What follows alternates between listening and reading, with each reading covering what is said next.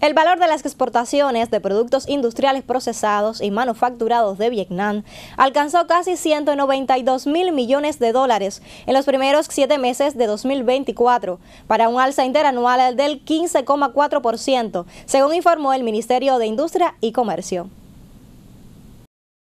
Según la misma fuente, distintos grupos de productos registraron un alto crecimiento como cámaras, videocámaras y componentes con 51,5% y computadoras, productos electrónicos y repuestos con 30%.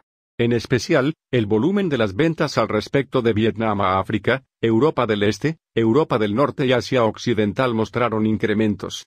Sin embargo, el índice de inventario de la industria de procesamiento y manufactura al 30 de junio aumentó un 7,6% en comparación con el mes anterior y un 9,6% frente al mismo periodo del año pasado.